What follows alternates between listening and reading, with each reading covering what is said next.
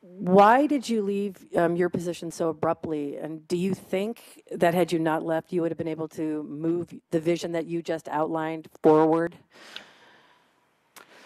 Um, I'm not going into details, but uh, the reason was really about the leadership structure, and no, I felt I could not um, put the vision that I had in place forward.